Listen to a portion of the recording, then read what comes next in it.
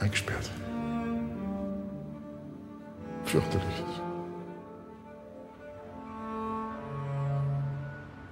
Auf diesem Grundstück sind innerhalb einer halben Stunde hunderte Menschen gestorben.